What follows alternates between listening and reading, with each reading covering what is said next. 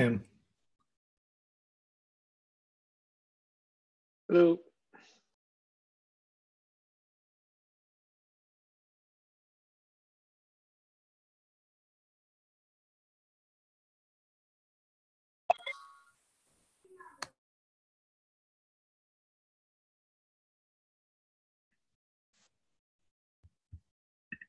Hey, SIG Node.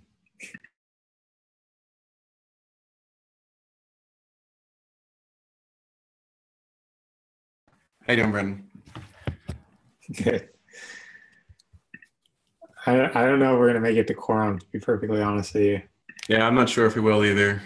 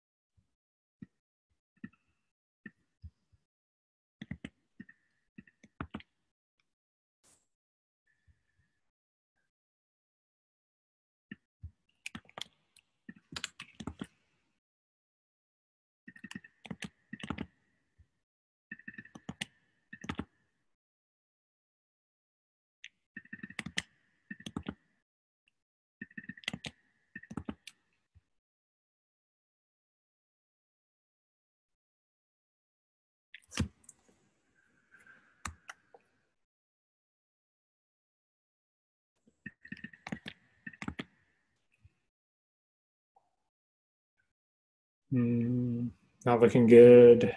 on the draw there. We can't make formal decisions, but we can banter about stuff that's in flight, right? Yep, for sure.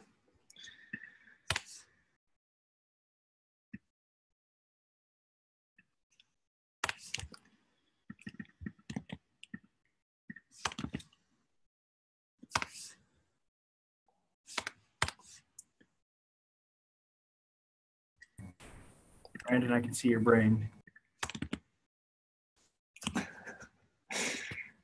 How you doing, Tim? Happy New Year.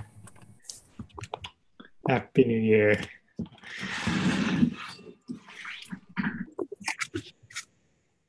Hey everyone. Hey, Phil. So we technically have seven, so uh, we can do anything we want.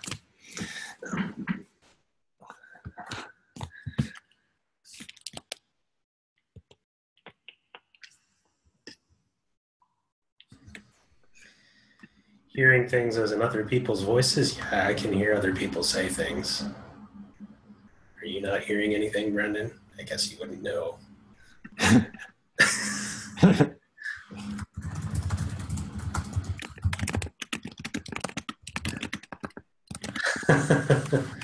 yeah, and I'm not hearing Brendan either. Okay. How about now? Yep, we know you. Okay. I think Zoom uses different, allows you to set different audio than the, it like overrides the system audio or something. It can. Mm. Awesome. Hey, Joe.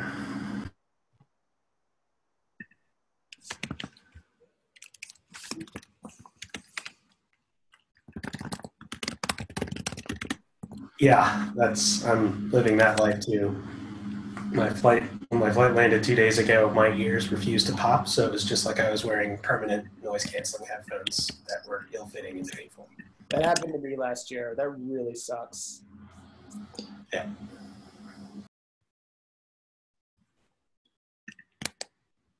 But for better or worse, I can hear you all now.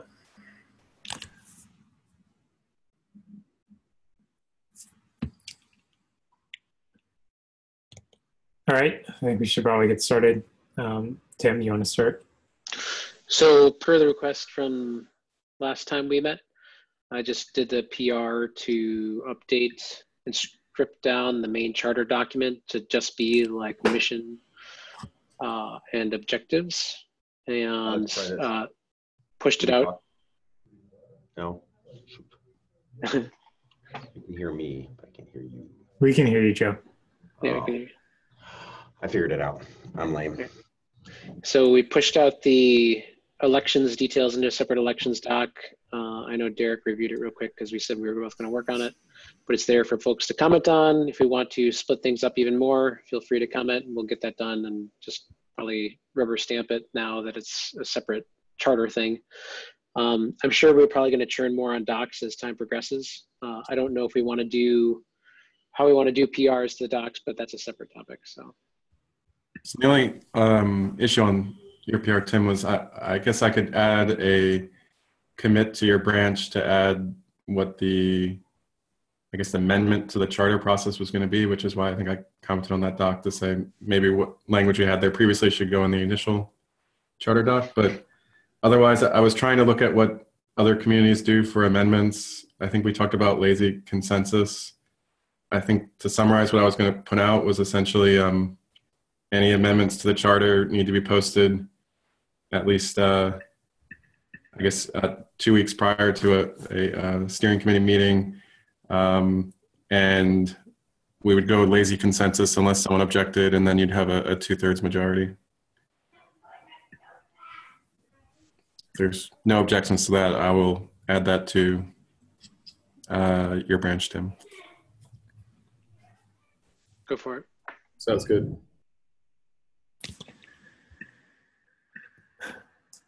So, lazy consensus for amendment to the charter, though. Are there things that we want to actually force sort of a real vote on versus lazy consensus? I guess lazy consensus usually meant that you had to give a time period. I felt like if you if you said that no one objected within that time period we had defined, whether it's two weeks or four weeks, then like a single objection, whether you do that properly or not, should be able to call a vote. Um, That know. seems reasonable. Yeah. Yeah, I think the only concern we raised was like making sure that it didn't happen like on December 1st with a December or January 1st. Yeah, or so something I think that. four weeks was sufficient holiday coverage. And then honestly, if we don't have one steering committee meeting between the time and amendments posted and anyone saying maybe we should have a vote, like, then obviously we don't have lazy consensus. So I, I honestly don't think we'll be amending this charter too frequently. So Yeah, that sounds that sounds reasonable. I I also stripped it down so it's it's very focused by comparison to what it was before. So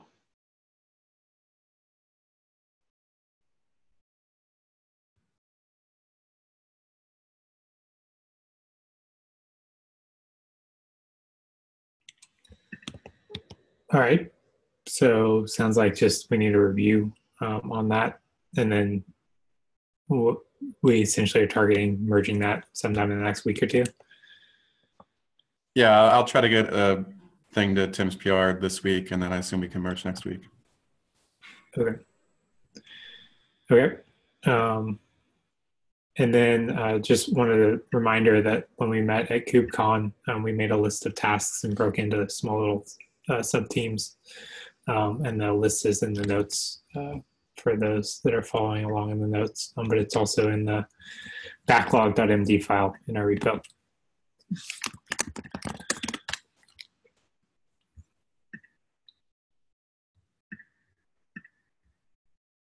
All right, Aaron, you want to take the next uh, topic?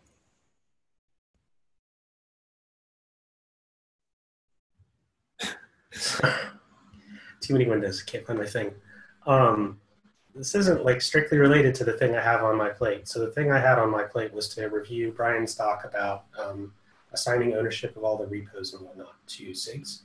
And so to demonstrate good intent with the community, I've been doing a lot of chopping wood, carrying water stuff where I like disabled the wiki in the community repo and I revoked direct, uh, direct write access to the community repo. Um, I'm doing the same thing for the wiki and the Kubernetes repo uh, and starting to uh, ruffle feathers by suggesting that we remove direct write access to the Kubernetes Kubernetes repo. Um, this has raised a couple things. Oh, and the other thing was uh, consistent code of conduct everywhere that the Kubernetes project lives, or every repo that the Kubernetes project owns. So that set me down the path of begging the question of what are all of the repos that are part of the Kubernetes project? Um, there's an open issue in community, which I'll, uh, I at least found that before you called on me, um, to document the list of orgs that we own. Um, so I sort of found that after the fact, but I've been using that. And then this issue here, which I just closed the meeting notes, that's great. I've been using my effort to had the same code of conduct file everywhere as sort of a tracer bullet to see like, is every single repository in the Kubernetes project covered by this? And it made me think that for administrative purposes, it would be a lot easier, or it might be a good signifier if the steering committee as a team was publicly listed as owners of each of these organizations within GitHub that are part of the Kubernetes project. So it's really clear who you can contact and that it is in fact part of the Kubernetes project. Um, this would also kind of uh, having admin access to all of the repos for the reasons I suggested in that uh, mailing list thread to steering would also help me a lot with um, pushing some of this administrative stuff through. Um, assuming I've built good faith within the community for all of this stuff, I plan on acting the same way to push through ownership of all of the repos by all of the SIGs. Um, so I haven't really made any substantive progress on the thing that I'm supposed to be doing for Brian, um, but a bunch of other things on the side. Um, it sounded like I didn't get any real objections when I asked this stuff on the mailing list, so I'm just kind of curious what the next steps would be. So I, I think creating some list somewhere of here's all the organizations that are part of the Kubernetes project, making sure them some consistency that like, hey, for governance of this organization and all repos herein, go look at XYZ. I think that sounds super reasonable. Um, if anybody's going to have, you know, ownership across the project, having a, you know, a set of folks from the steering committee, you know, be owners on every single organization seems totally reasonable. Um, you know, oh, Tim, you're you're muted. It helps. Um, when we say owners, are we talking about owners, the owners file, or are we talking about owners, the GitHub permissions? GitHub permissions. Yeah, I'm saying GitHub permissions. The ability to add and remove people from the organization and the ability to create and delete repositories. Yes. So I think that's uncontroversial. The only question is, that is in my mind is like the mechanism that we want to use to do that. Clearly, I don't want to go and add whoever of the 13 uh, into the owners for every one of these repos. That doesn't make sense. So we want to create a group. Um, at some point, there was a proposal that all groups would actually be activated by a bot from some metadata files. I forget who signed up to do that, but it hasn't been it done. was me and I didn't do it, so I'll. That I'll- sounds like something we maybe ought to scope out as a chunk of work we could subcontract out to somebody from the CNCF using this mythical pool of money that they have. Um, it's something I think could be doable via uh, Prow within Test Infra. Just like point it at an organization and then have it automatically manage teams within that organizations based on some central repo that defines all the teams and usernames, blah, blah, blah. Exactly. You have to people to do that, right? That seems great, um, but we don't have that yet. So uh, I guess the only intermediate step would be just to define a GitHub group that is steering committee and um, add that group as owners of every repo. So we Well, have no, I mean, but that has to be cross org. yeah, we Oh, have sorry, as, as org admins. That's what we Yeah, want. we have that team within the Kubernetes org, right? But we don't. We would have to go and create that team for each or GitHub org that is considered part of the Kubernetes project. So Yes. Step, step one, like define the list of organizations that are part of the Kubernetes project. There's an issue that I've linked in the meeting notes that's in the community repo, where I've tried to link the ones I know about, the ones that don't, I'm not sure about, and then all of the ones that we may have preemptively registered. And I'm, I'm assuming this is something I pretty much just can't answer until Brian's back from vacation. But capture what that list is, and I'm using code of conduct PR to every single repo as a tracer bullet to make sure that there are people actually paying attention to those repos and nobody wildly objects saying, no, this isn't part of Kubernetes. So, does it make sense so first of all, the list of orgs I think right now is very small. There's a bunch that we've preemptively squatted on, but unless we're using them for something, let's not consider them to be part of the project. Um, like I, I make full commitment that the 20 or so that I'm squatting on uh, are free for for us to use when and if we decide we want to use them. I just grabbed them when I could, right? Yeah. Um, but I don't think we should preemptively put rules in place because I don't want to go deal with those 20 orgs. Yeah, I think there are really only eight that are eight or nine that we have right now. I'm even surprised it's that many. I thought it would be like four. Kubernetes, Kubernetes client, Kubernetes Helm, Kubernetes incubator, Kubernetes CSI, Kubernetes UI, Kubernetes graveyard, Kubernetes retired, Isn't Okay, that so- Kubernetes dashboard? Kubernetes dashboard. I have totally missed that Why, one. why are those separate orgs? Some of those don't seem like they should be orgs. Because org permissions are broken, is the TLDR, right? like we can't. I'm not trying to. ma- Uh, let's. Yeah, no, no, it's fine. Um, what they should Great. Graveyard should go away. The only thing that's stopping it from going away is Brian being back to give me permissions to finish moving all this stuff over. Yep. Yep. Um, other than that, okay, some of those feel weird to me, but um, fine. Um, I what I can do in the very short term is at least for the couple of those that I have org admin access to, I can create, or any one of us, I guess, who has org admin can create a group that has the 13 of us and add it as org admins. Again, I don't know if I can create a group as an org admin. I have to go look. If you can add me, I can take this on, and if I need to like s- scope out the work that I'm proposing to do, that's fine. I just, um, your call. I don't. I don't want to eat you up. I will- time I will see what I can do Okay. for just for the just for the Kubernetes org. And if we establish that we're happy with this pattern, then we can do it for other orgs. Okay. The the other controversial ask in my email that I guess we can talk about here was the idea about whether or not members. So we have a steering committee team in the Kubernetes org, and it's got admin access to three of the repos in the Kubernetes org. Should it have access admin access to all of them? I think If it has org if it has org uh, admin, shouldn't it have access to everything? I don't know if I think you have to manually define each person in the team to have org admin. I don't think you can give a team org admin. No. So, so we need to have this idea of like a super org, right? And we need to have something that synchronizes across these things, and we need tooling for that.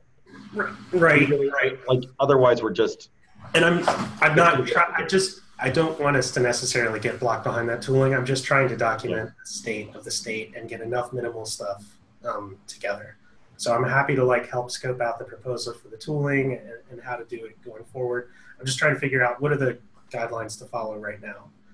So I think, I mean, I think the tooling is the right uh, avenue in the end. In the short term, I'm looking at it right now. You're right. There isn't a way to make a group have org owner access. So I'm just going to click on everybody in the org who doesn't already have owner access and make them all org owners. Anybody disagree? Use it responsibly. Yes.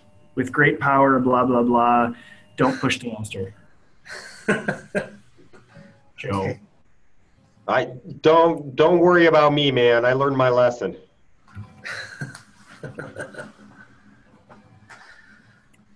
Um, okay. I uh, so you'll probably see more emails from me as I call out what I plan to do with these scissors that I will slowly walk with. Um, So, but I mean, but backing up a little bit. So, like when I started looking this, one of the things that got me a little wound up was like, I don't know Prow all that well. It was clear that it might should be perhaps part of Prow, and I'm like, oh my god, like getting like Prow to the point where I can develop on it and start adding it and like play with it was kind of intimidating. Um, we need to get this tooling built. Is this something where we want to try and get somebody external to sign up to do it and actually pay monies for it? Because that is Yes. Yeah, that's what I'm suggesting. I can help scope out, and I do think that, that ultimately should live within Prow because I think it's I don't think it's completely. So all all 13 members are now org owners for Kubernetes, Kubernetes, or for Kubernetes. Yeah. Um, we're all org owners for Kubernetes. Um, I think we should talk to Dan uh, and see if we can use his infinite money to hire a contractor to do this work. I don't think it's particularly complicated work. I think we can spec it reasonably well. Um, as this group, we, we can produce a specification that they can then code to. Yep. I'm happy to take that on as an action. item. Okay. I'm not sure that I can get it done by our next meeting, but I can try. Um, but I think that the stuff I committed to for this sprint takes precedence. So I'm, I'm now, now that I have this access, I have the ability to go and see who else is owners in the Kubernetes org. Do we want to pare that list down? Probably. Um, that was a separate thread, uh, wasn't it? Wasn't there a separate thread on that? If you start kicking people out, it's more likely you want to have rules in place to define why you're kicking them out. Just a thought. I. It's a different issue. We can take it up later, but Yeah. uh, yeah. How do you see? Who, oh, here, you go sort by role owners. I thought there was an email thread on paring this list down. I was talking about paring down the membership of the Kubernetes maintainers team. I don't know if that's what you're talking Oh, about. that was the thread I was thinking about. You're right. I mean, I'm looking at like, I love Alex, don't get me wrong, but like, you know, he's not doing any. I agree. I, I agree. This list has a lot of people who aren't particularly active or who are on leave or who are, uh, Just I happen to be Googlers. well, I mean, they, they were there, like a lot, like Daniel is there for hysterical reasons because he was one of the first five people working on the project. Hysterical, historical. Hysterical reasons. Yeah. All right, that seems like a separable issue. Well, that's one of the other things is that as we start looking at the synchronization of like we want to have we want to have YAML files that drive the team definitions. Do we want to have those then actually remove people who are not part of those YAML files? So have those be the only things that actually get driven by those YAML. Yes. And Yes. So that means It's a little terrifying, but I think the answer is yeah. I mean, we're gonna have to rationalize on it because like we have 295 teams. Dude, don't even get me started on that. Well, I I think you described it right. It, what we really want is a, is a description of a meta org and a bot that enforces it. Yes. So, um, yeah, I was going to say, I, I also think that Brendan's doc probably is the more substantive thing. I was really just asking for give me permissions to go do stuff. I'll write up some proposals of next steps that I will take with those and make sure that I'm doing the right things at the right time and place. All right, you have your permissions. I'll um, I'll take the item to. I'll write a note to Kubernetes Dev asking if there's objections to paring down that list, and if there's people who are not on steering committee and are not robots who need access to that list, Okay. who need that level of access. Okay. Well, I think I think like Caleb is doing some of the approval to actually add people as members Yes, to the community, he needs right? That's like a good reason for him to be on that list. So that's why I will write this note. Yeah. Okay.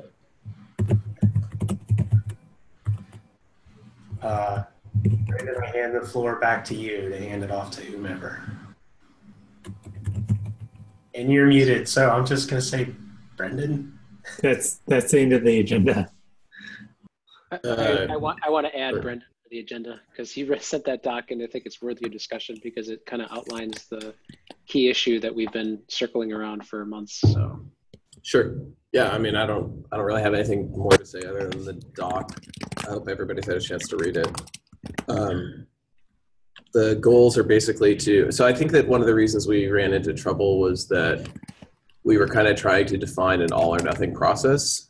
Um, and I, so I tried to kind of identify three different sort of subgroupings of, of process that we could come up with in a sort of concentric circles of more, more seriousness or more alignment and, and hopefully then we can find the right for each project we can find the right blend that, that fits for them so i don't know any substantive discussions So I, I, I don't have the doc in front of me. Which doc are we talking about? this is the like three associated repos sig repos and core repos So one thing that really wasn't clear to me, Brendan, was are you proposing that associated repos can live in any org? Like I can go create github.com sock and foobar and call it a Kubernetes associated repo? yes What's the purpose of having the association at that point?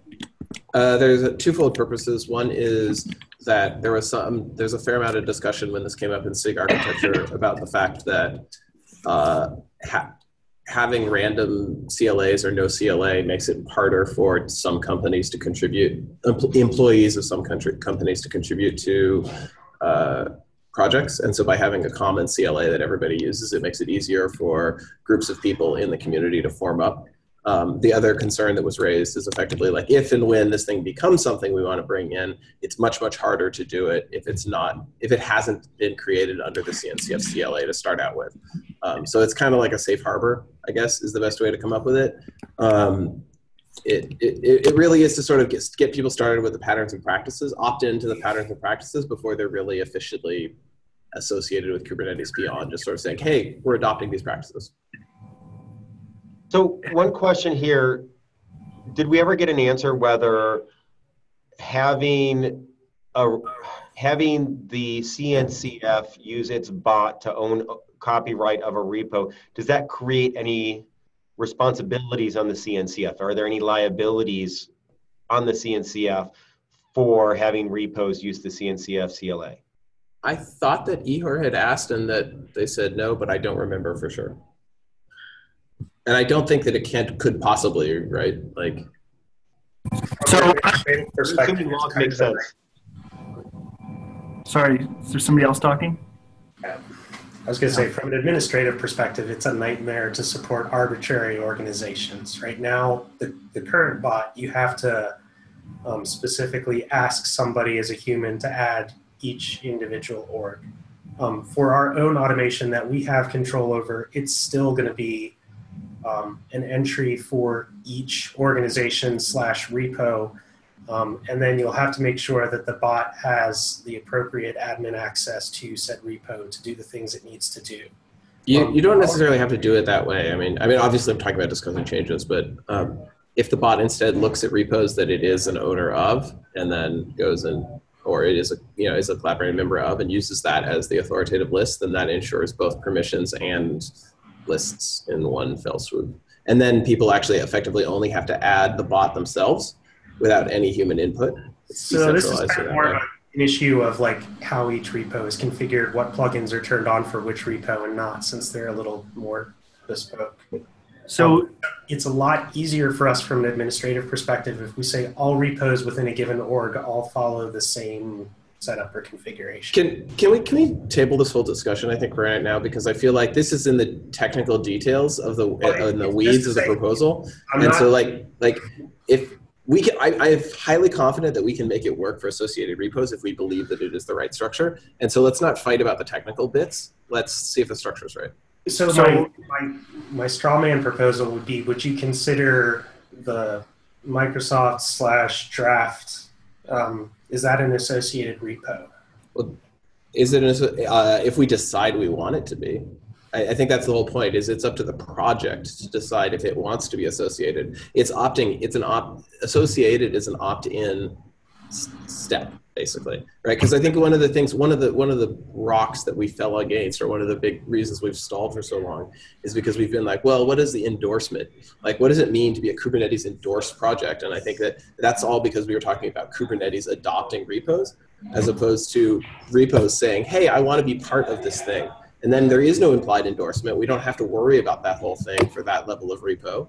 And yet we get a lot of the, the regularization that which is what we want, which is which helps enable collaboration, right? So that's sort of that's the distinction between a SIG level repo and an associated repo is one is opt-in and the other is uh, it's not opt-out, but whatever the opposite of that would be like I mean, the alternative, the, the obvious alternative is just to produce that playground org where you just say anybody who wants a repo can create a repo. Good luck picking names, right? Right, and and I guess the the, I, the reason we didn't do that is I guess the general consensus was well the last time we did this it was a bad idea. Right. Doesn't I- there need to be This is that was what contrib was, and it, everybody sort of said that it was a bad idea. shouldn't be, there be some hurdle like or barrier to entry like some vote of some kind to enable it Why? also, um, just because you're enabling CLAs, But that also- it's your it's your repo that you own. Yeah. should it matter? Is it a revocable thing though? If I've given, if I Sure. put Like this- I mean, yeah. If you if you go No, put this thing on. on like you know something you know myevilsite.malware.com. I mean, sure. Yeah, If we I- can have some. We can have some TOS or whatever, right? if I decide I want my org to be associated, I put the CLA on it, I collect a whole bunch of contributions to the CLA, and then I turn the CLA bot off. Have I actually revoked the legal right for CNCF to distribute those changes? I don't think so, right? Because the CLA says that you've donated clear- copyright to you haven't. Um, I'm saying that putting this in the end user's control is suspect. Uh, well, but I mean, I don't. I just don't think it matters, right? Like, I mean, really, like, do you? I mean, either it's so unimportant that who the hell cares whether they try and do something like this, or it's important and someone will notice and we'll, you know, pursue legal alternatives or whatever, right? Like, eh, like, Yeah, you know no, I, saying? I, I, I think it's pro- you're probably right, um, but I think there's an even more interesting case, which is some of the, I guess, of the CNCF projects. There's only two that use the CLA. Everybody else is doing DCO or something like that. Yeah, and that Um, was a different discussion. Like, and I'm I'm I'm okay with DCO too. Like, I'm not hung up on the CLA. What I'm trying to provide is a consistent user experience. A associated is really about trying to provide a consistent user experience. I, don't. I think the specific details are man. I, I think we need to figure out the DCO thing. Um, apparently, there is some concern from Google's lawyers and maybe others that DCO wasn't satisfying enough. Um, I've asked Google, our, our legal team, for clarity on what their position is on that. I'm not sure that they get to dictate what CNCF or what Kubernetes does at this point, um, but I think it's interesting. Um, and if we switch to DCO, then we wouldn't need to deal with the CLA bot at all, right? Sure, and and that's that's again. I think that's the technical side of it. Like, I want to see, and I'm going to call. You know, anyway. Colin Oh. SIG Beard. Um, yeah, so like I, I didn't mean to distract things with the CLA thing. I, uh, so my, my hang up is just that even though you're using the word associated to me, I still think it implies that we are taking this repo and we are now putting it under the Kubernetes project umbrella. Thus, the code in that repo becomes No. part of the No. Kubernetes project. But that's not what we're doing, right? That's explicitly what it's not doing. Help uh, it, help me understand how because to my to my understanding we are saying that it needs to follow our cla and it needs to follow our code of conduct et cetera et cetera I'm not it's, really- imagine imagine that it's best practices, right? If you write a best practices doc and somebody then goes and follows your best practices doc, are you adopting their project? No, they're following your best practices. We're enabling people to follow our best practices in ways that make it easier for them to come further in and enables it, our community to contribute there more easily. my, my understanding is you were saying that's sort of the thing that comes up once we get to the sig repo issue where you're starting to define a common set of processes and tools that we use for all of our repos so things like Well, CLA, CLA of code, CLA of code. on. The thing like SIG labels and the consistent set of priorities everywhere, slash LGTM, slash approve, our merge automation, all of that stuff, where you kind of would consistently expect every repo that's core to our project or managed by our project to operate sort of the same way. But my understanding was associated repos are people just experimenting and they don't have time for all that heavyweight crap, but they still need vendor neutral places with legal protection to experiment and play around.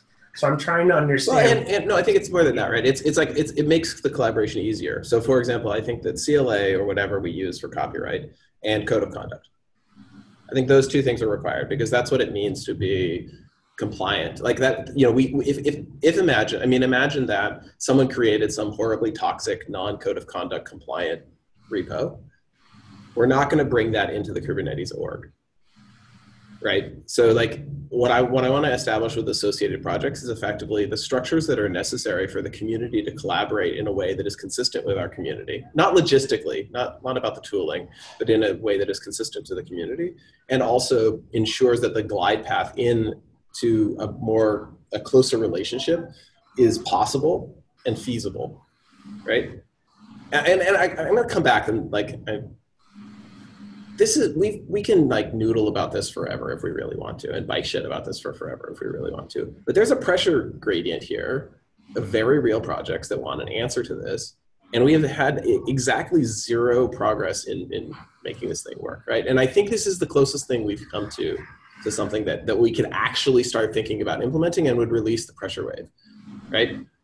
Unless we want to do onesie twosie like with Dawn's thing and say like, okay, well that's a no brainer, let's go, right? Which I mean, I guess is an okay option, but like, I guess I want I would I, I'm I'm in sort of more of a like put up or shut up kind of mood rather than a uh, like let's let's noodle on the details kind of mood.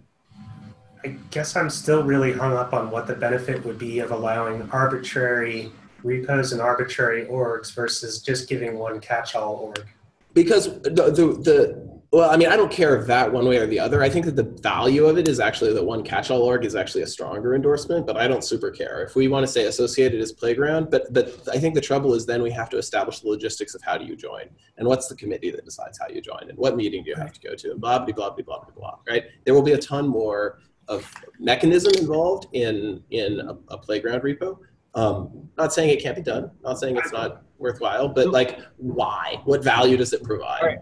I guess I would posit that the administrivia necessary to add yourself to the CLA setup wouldn't necessarily be that much more or different than the administrivia to have an arbitrary repo created in an org.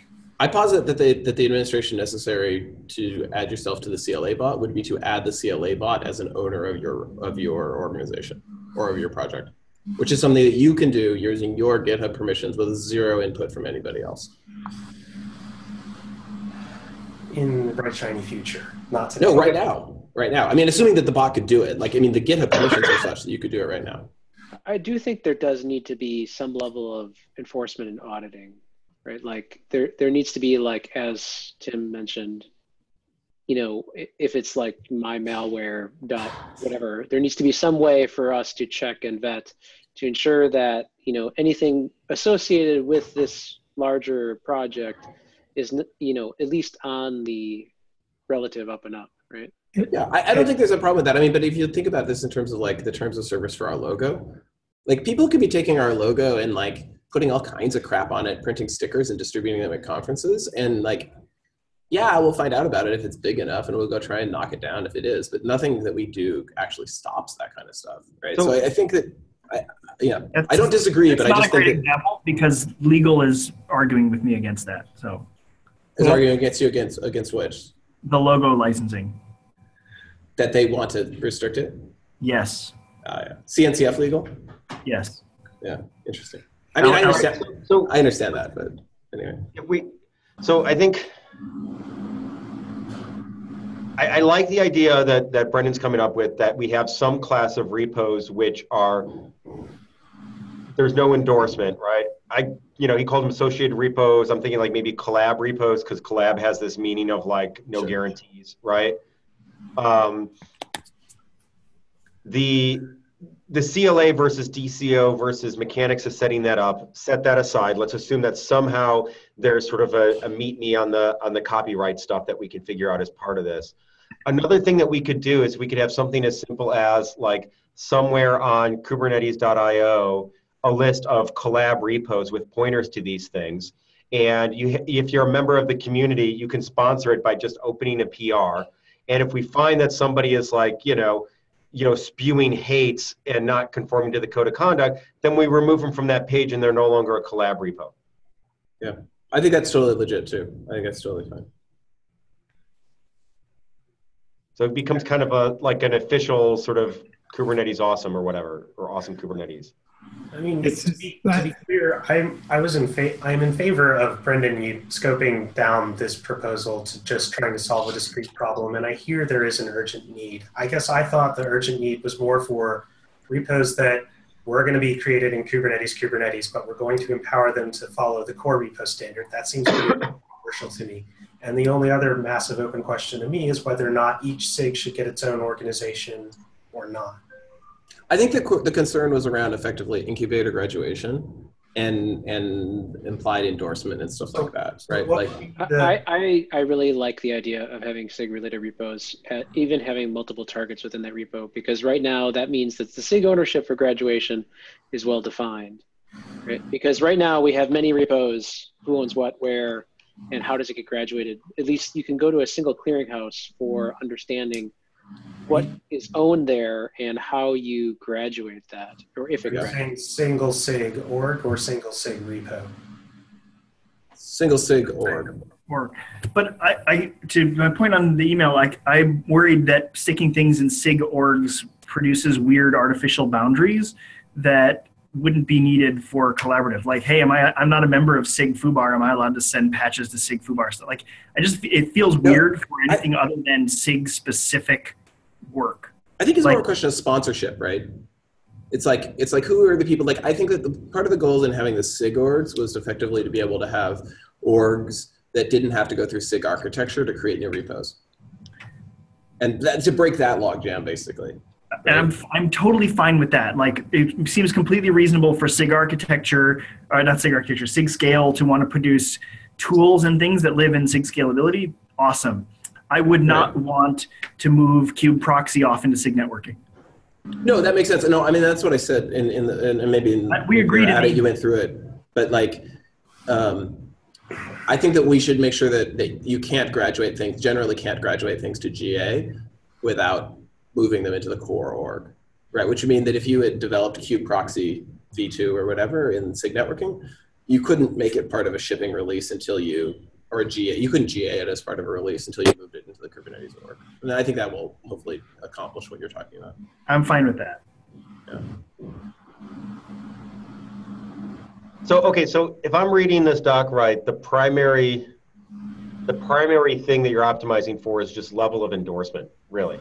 Effectively because i felt like that was the biggest logjam because and, and the details of what each endorsement level means i'm totally open to refining right? Like I, I think that it's the levels of endorsement that is the biggest logjam that prevented us from making progress here um, and was the biggest thing that separated like hey three people from the community want to collaborate projects from hey sig scale needs a bunch of tests testing tools versus like hey this is something that's actually like api machinery that we know is essential and part of the main project Or like, you know, rescheduler type stuff or whatever, yeah. yeah, exactly. And I think rescheduler would be a great example of something that I would think would start in SIG scheduling.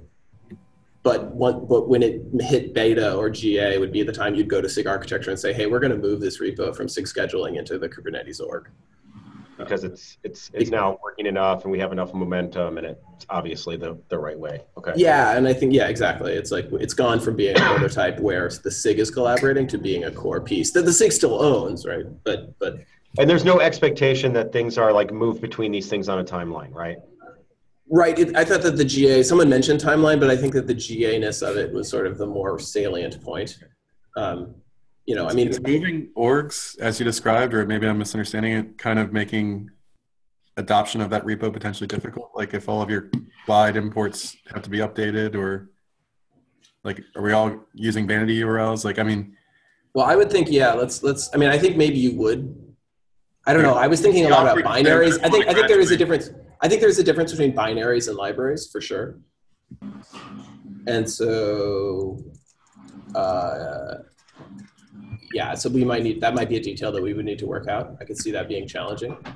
Um, although we've repackaged things before, right? I mean, we re- repackaged API machinery and a bunch of other, I mean, I know it was painful, but yeah, I- I'm just thinking of the de- de- descheduler component in particular because that's probably something that like at Red Hat will ship, and we might ship it as a sign of community involvement or integration, and then to have something get disruptive about it being moved would be uh, uh, uh, that community. Yeah, I mean, I, I guess I would I would think that there would be a transition anyway. Like you wouldn't start out with a vanity URL, but my suspicion is by the time you get to being a GA product, maybe you do want to have a vanity URL. I, I don't know. I mean, I don't think that we can introduce. Maybe we can disassociate vanity URLs in GitHub organizations.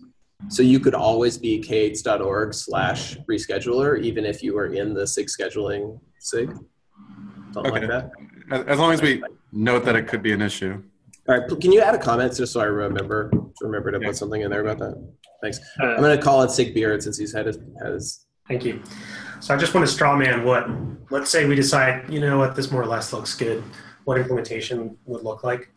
So let me just, for simplicity, say associated repos, let's just say that's everything inside of Kubernetes Incubator. Let's rename Kubernetes Incubator Kubernetes Playground. Boom, that's our list of associated repos. We go and create uh, Kubernetes GitHub organizations for all of the SIGs. Next step is we say SIGs who want to take ownership of things, please move these repos out of Playground into your organization. Um, the remaining pressure point I- or pain point I've heard are repos such as Kubespray, which felt like they have gone through the incubation requirements to go GA. What would we tell them? Like, I think could- tell them go. They have to move to a SIG. I would tell everybody they have to move to a SIG. they would move to cluster lifecycle, and then we would say, if you want to graduate from cluster lifecycle to core, what are the SIG, SIG architecture. you have to go through SIG architecture through a set of a review yet to be defined, but talk to SIG architecture about that. Right. If Well, and they I want think to, that- if they want to be associated with the SIG, because that's that Right. If they want to be implies the notion associated. of- yeah, that implies the notion of you want to graduate to the core, and some some you might have the conversation earlier on to say it makes a lot more sense for X Y Z to be an associated. Right, and I think that that was kind of also the pressure, the try the forcing fu- function, which is I really want to force. I don't want people to join or to want to join the core org just as an endorsement. I think it has So to. like Kubespray, I endorsement- don't think ever needs to move to the core. Right, I would agree. I would agree with that. Right. I agree. I was just trying to run through the, the we, But I think you're right. No, you're right to run through like w- the people who will ask questions, and I think the question. I think Yeah. the question. I, I wouldn't even create Kube Playground. I would say incubator stays as is because we don't want to screw people up. Incubator stays as is. If you thought that you were ready for graduation, your job now is to find a SIG to own you, and you'll move into a SIG org. If you want to start a new project, go start an associated project or find a SIG to own you. Your choice of bureaucracy versus freedom. Um, and then we're done. Should there be a time horizon for? I mean, like part of this is going to be policy and, and policy enforcement, so we'd have to give like some sunsetting time period, six months or something like that, to say like you know, you don't have to go home, but you can't stay here, right? You mean for incubator? Yeah, we could do that. I mean, I suppose so. I don't see a lot of harm in leaving things in there as long as it's understood and we put a label on it that says that says like, "Hey, we're done." You know, like we're not adding anything new. There's no progress happening here. Things that like I guess I personally don't see a problem with keeping Incubator around as a place where people can create repos if they want. It just doesn't imply you are now set on a path to go into core. It says, hey, I don't think they should anything new should be added at all. yeah, I'm down with that too. I agree. I agree with Tim. You and I agree with Tim. Mark are correct. People want new projects, they should go make them on their own, go through the associated route by getting adopted by CLA and whatnot, and then they should go petition a SIG after they've made some progress. Or they can go straight into SIG if they're if it comes out of a SIG, right? Like if a SIG are the people who want to. If it's a, I think that- I think it's important to differentiate between the origin story, right? Okay, One so that- origins. Go ahead. One, uh, one user complaint there, I forget if it was maybe SIG Node was talking about, maybe it was CRI-O or something, where um, how, how can you differentiate the sort of level of maturity or stability or readiness? So let's say it's something that the SIG has worked on for a year, but it's something that's never really going to get to core. But the SIG's like, don't worry, this is totally stable and cool. How would a user be able to differentiate between that and a bunch of other experiments happening within the SIGs thing, right? I don't know if that's solving all the world's problems, but that was a complaint I Yeah. heard. I think that they shouldn't. I mean, I think that what we, I think that what one of the things to say is like you can't graduate to GA from a SIG org, except for under special circumstances, like hey, your SIG test and it's Prow. So I, I think the example, uh, Aaron, there was not a SIG node example. I think it was one I offered around service catalog itself, and that like there is a SIG service catalog, and the only output of that SIG is an incubator project today. Um, so I, I guess, and the, and the concern there was the incubator label made it feel less GA to some people for some reason. Um, I, I think in this scenario, I'm trying to work through what that SIG would look like, though. Like so we are we have a SIG service catalog that only owns an incubator repo. So it's kind of a weird chicken egg thing where like other things wouldn't have produced a SIG necessarily to incubate, but let's say a new SIG is formed, they get a SIG org right away, and then in this case, catalog would have gone there. You you could argue that that was that that SIG was too narrowly scoped. I, I was going to just say that. You could also say that it could be a sub-project of SIG apps or something like that. Okay. I'm going to rewind. then to I don't know what that means to ever say. I, I, I still am cautious on this idea of graduating to core. It, it feels like Well, that, like you're I think it- to I think it depends, right? release And cycle. I think it really depends. I guess I think that there are going to be some tools that go GA out of their SIG space.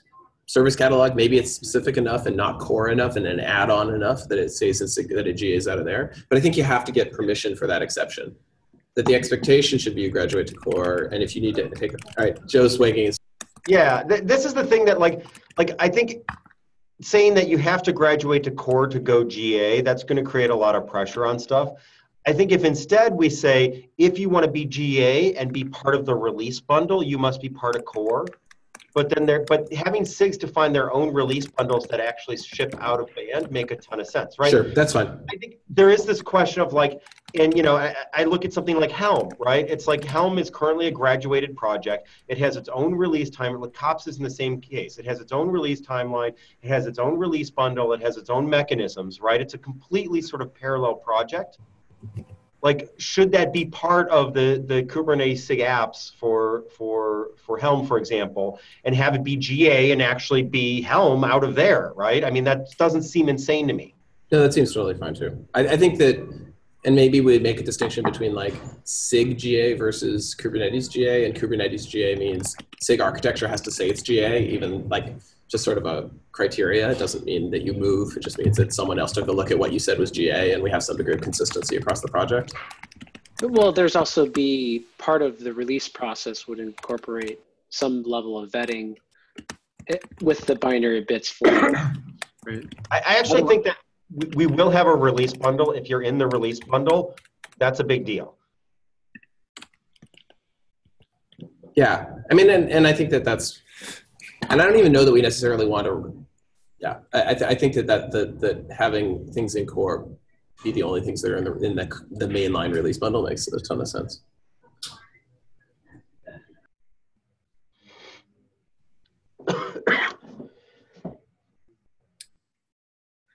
Are are we in enough agreement as I watch Joe sort of cough himself to death? Um, are we in enough agreement around this to say like, hey, let's nice. Are we in enough agreement around this to ship it externally? I mean, we've sort of shipped it externally anyway, but like, and get the comments and and say we're gonna go discuss this and narrow it down externally. I think I think it needs to be wordsmith properly because I think you're going to get death by a thousand needles. Uh, okay. Any any specific comments or The, the language. you mean maybe like a fact, like a fact, like what like what we just did? just just like exactly the qu- question and answer session that we just did i think with you know aaron's outlining of different user stories and what that actually means would be super helpful to alleviate what will essentially be a bunch of people are going to take umbrage with some of the ideas here that's going to happen it's inevitable right but at least we have the user story is thought out enough that you know you, there's a path for A or B or C.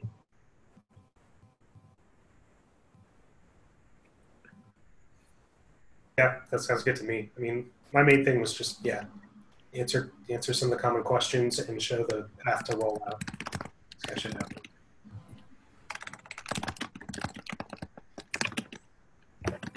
I think also um, the committee members that aren't here would, would be great. This is a big thing. Have some eyes on that.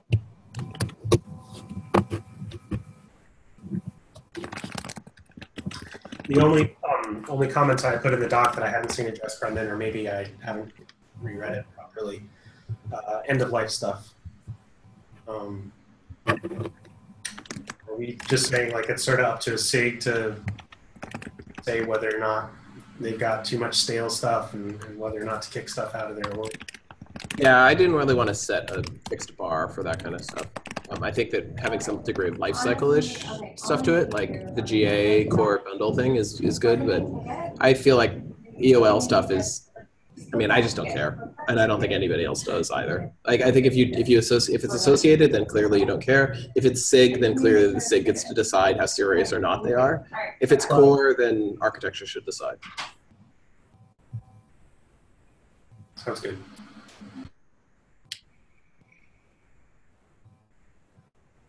Okay. Um, so sounds like we need another rev on the docs. I recorded some of the open questions from this discussion in the notes, Brendan. Um, All right. Thanks. I'll rev. I'll rev tonight, tomorrow, something like that, and get Yeah. another draft by the end of the week. Yeah. Um, as I didn't really speak much, but as the person who uh, helped to kick off the incubator, I think this proposal makes a lot of sense and solves the issues of uh, I want to create a repo. How do I do that? Um, and have some path to Kubernetes. Uh, all right. Five minutes left. Any last business? What do we have to finish off for this next sprint? So, Phil, Uh, do you want to give a quick update of the survey and the discussion that we had, that you you and me and Michelle had, real quick?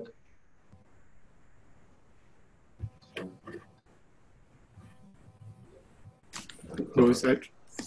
Um, so, so Phil and, and Michelle and I, I met and uh, to talk about, um, and I can pull up the notes, but uh, to talk about sort of what is the interfaces between SIGs and sort of the rest of the project, and what are the rights and responsibilities and expectations out of that.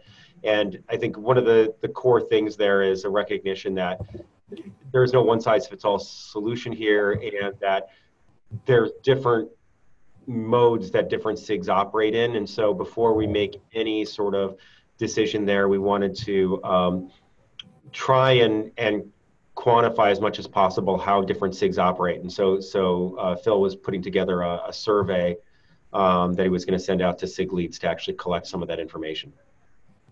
Uh, so that's kind of where we're at with that. I don't think we have time to dig into the into the contents of that though. Is there a link or something? Let me see if I can Okay, maybe you can email that out to the steering list. I, I don't remember seeing that. So, Here's the. can also add it on the notes. okay. Did you, did you add it in the notes? I just found it here. Uh, not yet. Would you Would you go ahead and do that? Yeah.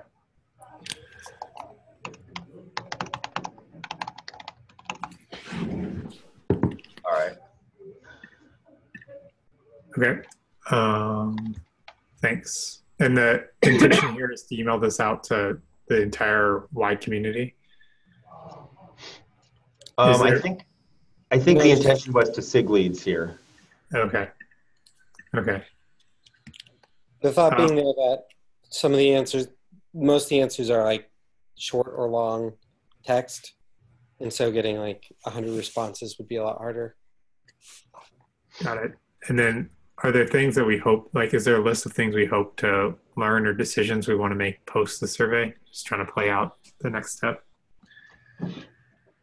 So in my mind, I think what we'd want out of this, I'm trying to remember, I can't find my notes right now. I should have had those up there. Um, we want to know what are the roles that we expect each SIG to be able to fill. Um, and so they need to name names and some person can actually fill multiple roles, but we want to make sure that we get those right roles. Uh, name, uh, and so part of the SIG's interface to the rest of the world is being able to name these people. Um, and then have, uh, we wanted SIGs to have a documented, fair way of of uh, picking those roles. Um, and then we wanted to uh, have a set of sort of starting documents for governance of SIGs that that SIGs can uh, adopt and and find something that's going to be easy for folks to to take and, and customize if they absolutely need to. I Got it. think that was. If there's anything I'm forgetting, Phil. Yeah, uh, that sounds right. I think maybe the other things were like from a higher level, we want to provide a baseline template of organizational structure that SIGs can use if they don't have sufficient structure right now. A couple of the things we're targeting were like how decisions are made within the SIG, both like technical decisions and process related decisions, and how like conflicts are resolved, how decisions are escalated, that sort of thing. And so from the survey, hopefully we'll figure out what people are doing today. If anyone has stuff that they like that works, um, we can maybe cannibalize that. Got it. So it's, it's sourcing ideas for the eventual solution. Yeah. And I think I think the idea is that SIGs can customize this, but we also want to at least require SIGs to have something written down about how this stuff works in their particular subcommunity. Okay. All right. One minute. Anyone got a joke? All right. I think we're good. Hey, hey, hey, Brandon, is there is there a baby yet? No baby. No baby. Still on baby watch. When, when, when is baby? uh, January 7th is the due date. So we'll see. Oh, Yeah. pictures. All right, we'll do. Thanks, everyone. Bye. Take care. Bye. Happy New Year.